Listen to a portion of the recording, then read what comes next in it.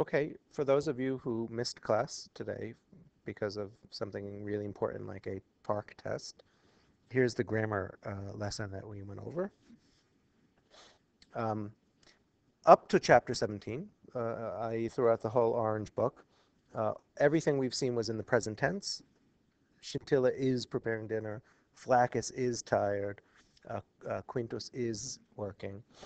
Um, now, chapter 17, we're going to learn the past tenses. We're going to learn two of them at once, uh, but um, don't worry, it's not like learning them in a modern language where you have to decide when to use which tense. Uh, we're reading Latin, uh, therefore, you just have to be able to recognize it, um, understand it, and, uh, and be able to translate it into English. So anyway, here we go. Cartoon caption number one, we'll have both. Quintus ad ludum ambulabat subito gaium vidit. Uh, so right away, our new, two new tenses. Quintus ad ludum ambulabat. Quintus was walking to school, and maybe we'll say um, we can label that and call that the past uh, uh, ongoing, the ongoing past. He was walking. Maybe he was walking for hours. Maybe he was walking day, all day. Quintus ad ludum ambulabat. Subito, suddenly, Gaium vidit. Suddenly he saw Gaius. That is a simple completed action. He saw Gaius. Uh, and there are the two tenses. Was walking, could have been doing it for hours. Vidit, he saw it, the action is completed. Okay, that's uh, cartoon caption number two. Gaius arborem ascendebat. Ascendebat. Gaius was climbing the tree. Maybe he was, here he is. Maybe he was doing it for hours. Ascendebat. Quintus ad arborem festinavit. Quintus hurried to the tree. Not hurrying. He wasn't hurrying all day. He hurried. It's a simple, completed action. And here you can pay attention to the form because this will uh, look like most of the verbs we're learning in this chapter. Ascende bat, bat, versus festina vit, vit. Quintus ad, ad, ad arborem festinavit. Quintus hurried to the tree. Okay, let's keep going. Cartoon caption number four. Quintus anxius erat. Now, uh, we actually saw the sentence before.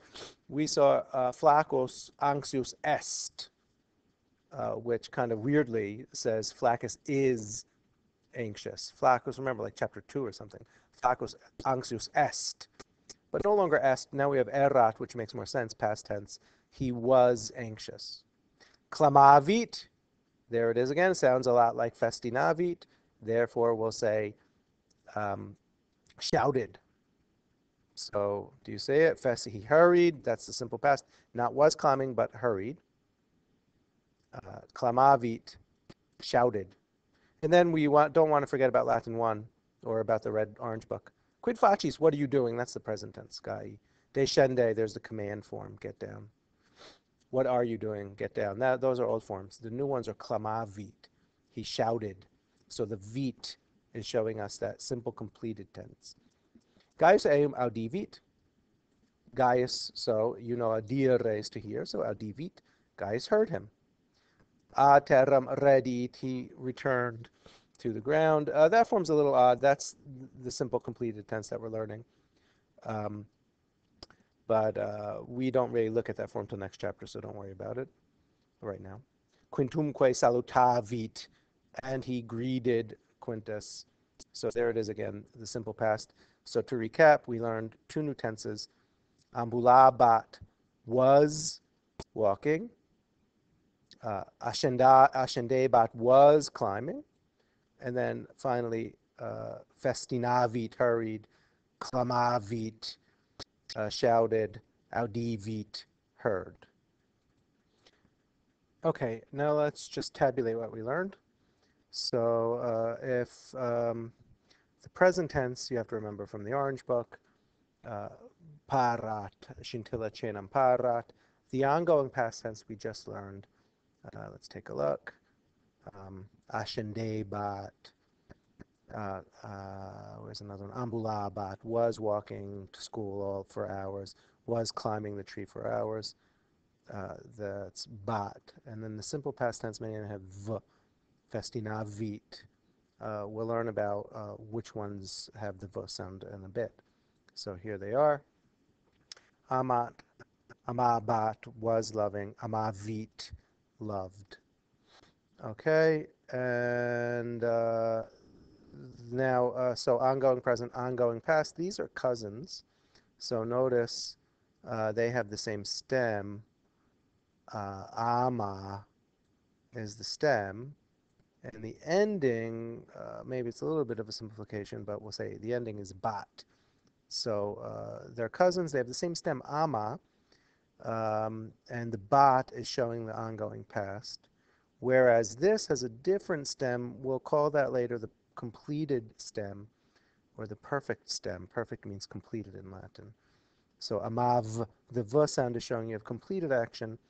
Now, uh, we translated it in the cartoon captions as hurried, saw, hurried, uh, greeted, salutavit. Uh, but Latin is really concerned with whether the action is completed or not. So this is, we can call it the simple completed tense. Therefore, it could be uh, fell, he fell off the tree, or he has fallen, both of which show completed action. Just keep those two translations in, in mind. Okay, and uh, so he is loving, he was loving, he loved, or he has loved. Is loving, was loving, loved, or has loved. Okay, uh, now how do you recognize them? This one's simple enough. But was loving, but. This one is simple enough too. V, amavit, he loved. Uh, but there's a, a, further complication. They're not all vit, as we saw in the cartoon captions. Um, and let me just cut to the chase. Uh, here are the uh, the four, well, I just made it four conjugations. I left uh, the mixed out for now. Here are four conjugations. You, oops, that's a mistake. Let me fix that. Hold on. Okay, here are four conjugations. First, second, third, and fourth. I skipped the mixed, the third IO uh, for now. We'll add in later. Um, and you remember the vowel in the present tense is different for the four conjugations. And then these two irregular verbs we want to deal with now. Uh, asked he is, eat he's going. And so here they are. In the uh, so you'll see the ongoing uh, past tense is no problem. They're pretty much the same for every conjugation. Amabat, monebat, mittebat, audiebat. Um, notice this uh, is maybe perhaps unexpected because third conjugation is, is odd. You may have noticed it's not mittibat but mittebat. It's almost as if it's acting like a second mittebat. But th that's a minor thing, right? Mittebat. Uh, the bat is what's really signaling something. That is the ongoing past tense. And remember, uh, that is called imperfectum, which is, I think we could say ongoing, not completed, as opposed to completed. So the not completed past tense, the completed past tense. Um, or better, the ongoing past tense, the completed past tense. Um, audiebat, i.e., just please make note of that. And then irregular ones for this irregular these irregular verbs. Erat. It doesn't sound terribly different than amabat. It just doesn't have a b. Erat. It has the same vowel. At. At. Erat. He was. So he is an S. He was an S. And then the completed ones. Uh, many of them, as I, as we said, uh, is v. Amavit. So almost all first conjugation verbs have the v sound and many fourth conjugations have the vos audivit, amavit, audivit. Now, if you remember, Romans wrote v uh, u as v, so this uh, would have looked the same to them. So, uh, but it's pronounced differently. We're going to say monuit, monuit. So v, u, and then in third conjugation, we're going to see there's there's some variety. Uh, for now, we're learning ones that have an s sound misit. So S, many of them end in S.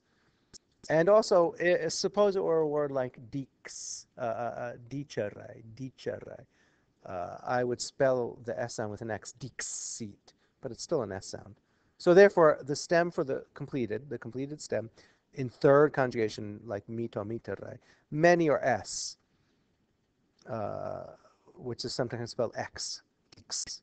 Therefore, uh, the short answer is uh, amavit, monuit, misit, audivit, vus. Oh, completed, sorry, another error. That's better. Fuit and iit. Fuit. The completed stem for the verb esse, for the verb esse, is fu, fu. Sorry. Uh, so, um, fuit. Now, what's the difference between erat and fuit? Uh, not a big one. So uh, you might think of them uh, as being used interchangeably, although, uh, so he is an ass, he was an ass, he was an ass. Although this one really belongs to the ongoing past, so the aspect will be ongoing. Quintus was being silly all period. He was silly all period. Erat.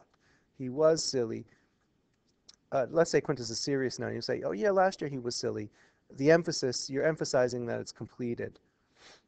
Um, so it's not a big difference. Was, was.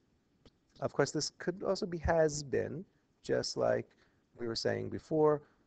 Completed, perfect, perfectum, could be, it's just concerned with completed aspect. So the book fell or the book has fallen. So this could be he was an ass, he's not anymore, versus he has been an ass, both of which have completed aspect. Okay. And I think that's it. There's still uh, some business to talk about. These are all third person. Uh, he or she was loving. He or she loved. Uh, we have to learn I, you, he, we, you, they, uh, but not now because we're already at 12 minutes. Okay. Valete.